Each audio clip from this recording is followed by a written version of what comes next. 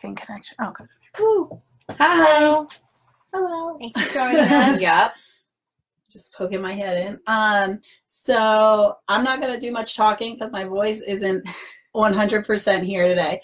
But uh, we were gonna talk about our 2020 wedding cake trends that we're really excited about, and then um, the book that you see when you go for cake tastings or talk to your venue.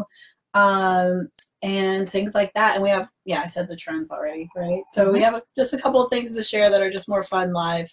So here we are. so you ladies can take it away. Um, okay, so we're we'll start with the book. So every year we Yeah. make a new wedding cake book. This is last year's. We're still working on this year's. Um, but when you come in for a tasting here, or you go to your venue and have a tasting, you get to look through this book. The um, first section is level one uh, wedding cakes. These would be included in your packages at your venues. Um, or, you know, if you're really budget conscious, these are the less um, costly Yeah, Designs. more affordable options. and we do have um, a lot in here and what's really popular is um, like somebody will take a plain cake from us and then the florist will add fresh flowers that's always very nice we have a couple little post-its of the ones we're taking out here and we're going to add them a few new. more yes. um, so this is A lot of those are on Instagram. Over the past couple days, we've been posting the new ones that will be Yeah. in the 2020 book. And I think like even though they're level one or more budget friendly, we really have still beautiful designs that are very elegant and won't like And it includes a lot. Yeah, it really Yeah, does. like this one super popular hope you guys can see that it's uh, got like a wildflower kind of look Mhm. Birch is still really in. Yep. But there are new trends this year. Uh, the color of the year for Pantone is classic blue. Literally, like, really basic blue. But it'll be pretty. Blue for weddings always great. You always need something blue. Yeah, so we'll make a design with the blue, and we're working on a few other ones um, that are new for this year. Yeah. So this is the level two section of the book. This is where you're going to see more of like the sugar flowers, intricate designs. Fondant covered cakes. You've also, um, if you choose a level two book, it does give you more flavor options too, which is listed in the front of our book. Yep. Different soaks, different fillings, things aren't that wouldn't necessarily be clu- included in level one. A lot of gold. Gold is still Mm, really, gold really trending. We have Yeah. more gold designs to show you that we did last year too. Mm-hmm. Um, let's see. Let's look. Let's find your cake, Kate. Which one? The one that is super popular. Oh, the winter one. So last year I created um, a Oh, winter yeah. themed cake. Uh, it was my favorite because I designed it myself. And it's got like Oh. cable knit on it. We do have it. You can Oh, grab we it. have it. We just have to add a few more pine needles. But uh, this year, quite a few people did order it with uh, white roses, and it has a cable knit pattern. And on the bottom, we do a hand. It's almost hand painted mountain scene. Yeah, it's So- kind of like oil paint with a spatula. Yeah, it's like almost It's 3D. That's my favorite part of it. I'm gonna tell this copy. It's this part on the bottom. It's all done. This is royal icing, so we can keep it because it's a fake cake. But that's all done with just a spatula and by hand piping. And then I gotta add new pine needles because they weirdly wilted. Um, I mean, Over fake. time, Yeah. yeah. well, and this, this is a fake cake, so it's supposed to meant to last. And then pine cones that are made out of chocolate, sugar flowers. And this year, this was pretty popular over the last few months, which has been Yeah. great. Someone even ordered it with spring colored flowers for like a spring wedding, which was awesome. Uh, what else is in this year? Oh, Um, geometrics. Geometrics are Yes. in. Last year we did one geometric cake, but it was just a hint of geometric. Um, I don't know about you, but I've gotten inquiries about like hexagon yeah, a and lot stuff. of hexagons. So this was Danielle's wedding cake. Oh This had yeah. some hexagon tiers. in I it. was way before the trend. yes. Um, oh, and the new one that we're seeing a lot of now is like kind of astrology, crystal themed. Oh, there was a yeah. So oh. I started started this cake out. It was kind of Still in progress. inspired by the metaphysical woo woo kind of things. Like you can see, like down here, it's got that pattern, and then Yeah, and over here, this is kind of like a moon. Yeah. Was Oh, my that's so cool. inspiration. and then these are isomalt crystals. So they're made out of sugar. Let me stay in the camera, not behind the cake. and Um, hold it closer. yeah, you just you weird. melt the sugar, put it in the mold, pull it out, and Can you see they're really cool because they, for Instagram. they look uh, They, They look like they should. they look like crystals, amethyst. They look like is Really amethyst. cool and something new for me. I know Mhm. Kate has a lot of isomalt experience, but not me so much. But it's fun. it's really fun to work with, and especially with isomalt instead of just like regular poured sugar, isomalt will harden completely crystal clear. So if you want a water aspect on your cake or something like that, that's the way to go. But it'll work perfect for the crystals. It's gonna be beautiful. We did that one geode style cake last year. Oh yeah, that's in there. and it was like open in the middle. So I'm like not Right on there. but just oh, this one? Yeah, this yeah. Same, more gold. Still very popular. Geode's awesome. Um, Mhm. We do it with rock candy, which is really neat, uh, and that's fun to do. That's still kind of in. Mhm. And fresh flowers, they're still a thing. We love putting them on. So if you guys supply them, we can put them on ourselves. We safety seal the ends so it's safe to put in your cake and serve to your guests. Um, and it's fun to arrange them on cakes. Yeah, we love fresh flowers.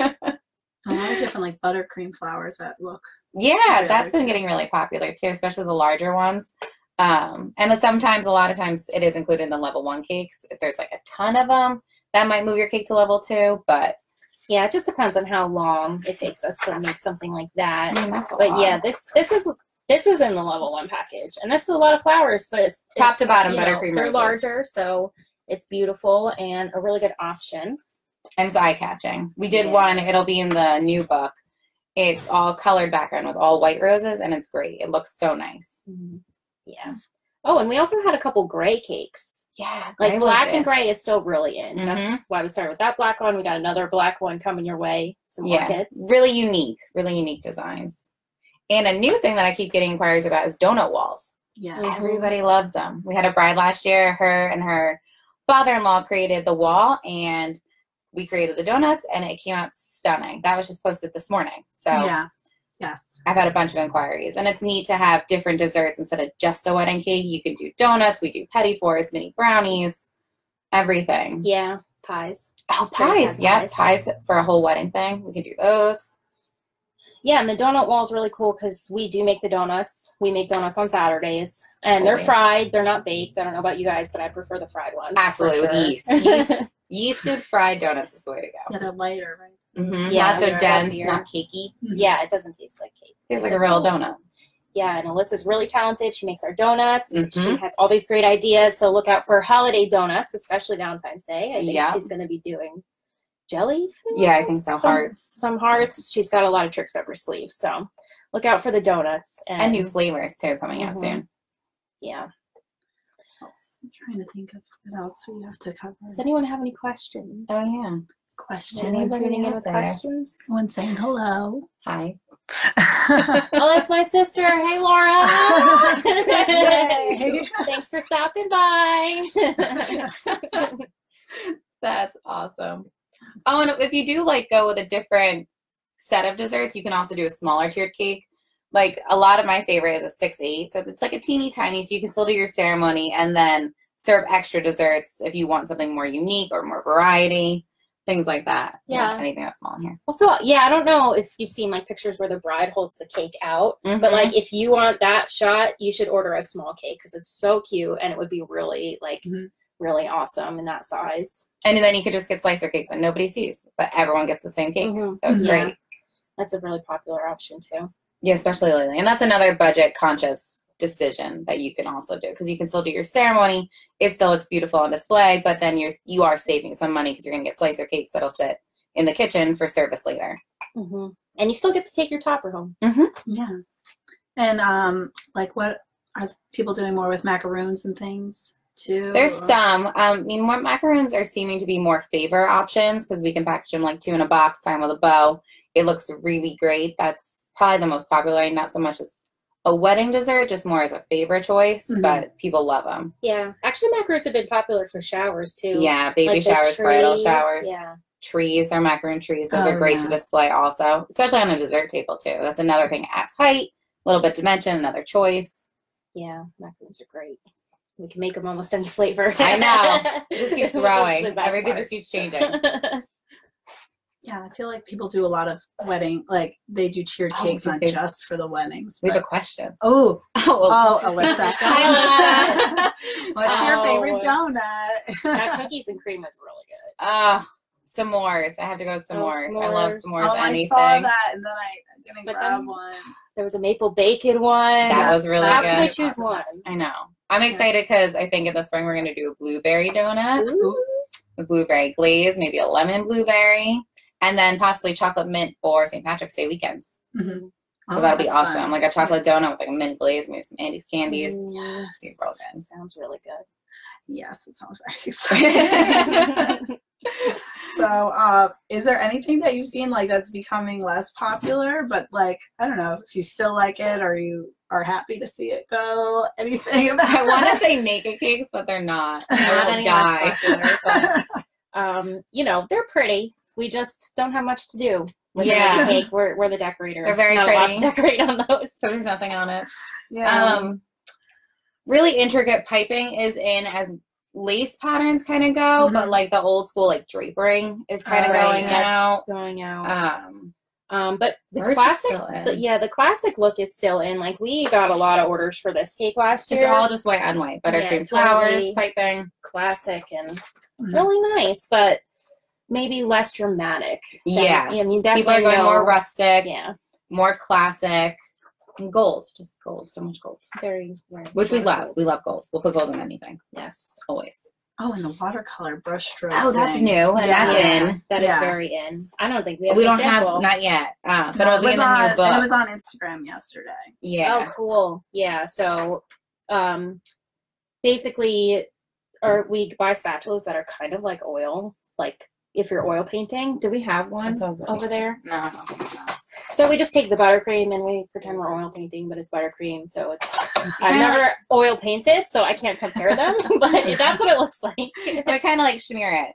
I mean, that's Yeah. kind of how I do my mountains too. Like I put it on and then I spread it out a specific pattern to create the design. And like we can even do like a smooth watercolor if you just want like a hint of color. We can just add a little bit of buttercream and then re-smooth it, and it gives it a really neat design. Oh, so is that's buttercream on there, or is that What would you do this with if it was Um, real? Probably. Well, to get the moon effect, we probably would have to do fondant. Right. you want to carry that over here? Just bring it back. Um, but like to get an effect like this, we could totally do this in buttercream. Like it's um Yeah, we had a couple of cakes actually this year that'll that'll either be on Instagram soon or um, in the new book where they did like an ombre effect with this style of watercolor design. Mhm. yeah. So Mm. we had one that like kind of looked like concrete, like Yeah, that that was cool. buttercream. That was really cool. So with buttercream flowers. there's a lot of cool effects we can achieve with that watercolor technique, and it's only getting more popular. Yeah, that is a new one. And I think I thought it always had to be done on fondant, but you can kind of do the look in just buttercream. Yeah, it's Uh, actually easier, honestly, in Oh. buttercream. Because it kind of all melts together, where this would have to be painted if it was fondant. We can do both because this looks great, obviously, Mhm. as fondant. But buttercream, it's really simple. It's like one of my favorite things to do. Oh, Literally, right. actually, it is. my favorite. You're like Right yeah, now, anyway. yeah, for now. For now, until something cooler comes out. yeah. No other questions? Heather. Alyssa said hello over here too. um, yeah, so I think last time we talked about a little bit, we could just remind people about how you can just do like small upgrades too if you want to your level one, right? Like if it was a level one cake and you added, am I am I right? Mm-hmm. You can add little things just to Yeah, like um, this year we have a buttercream sunflower cake, and it's a level one cake. But someone wanted to add their dogs to the cake, so we made it out of fondant. So it's just like a small charge that upgrades your cake to like a technically a level two, but it's just you can add anything, mix and match from the books, different techniques and designs, just to upgrade your level one. hmm We can definitely do that. Yeah, and it definitely makes it really personal having your dogs on the cake. That happened a lot last year. Yeah, we had a couple of them. Yeah, like little puppies peeking out from the bottom. Totally edible. cute. All Yeah, fondant. a little Eating your dog, eating the cake. We did that once. That, That was, was really really cute. Yeah. Um, I think. If that's anybody has any all I have. questions? Yeah. Well, if you're not tuning in live, but you still have questions, comment on uh, Facebook or Instagram. We'll get back to you. That's very I true. feel like Mhm. I'm forgetting something, but Yeah, I feel like basically they can come in with anything they want to do, right?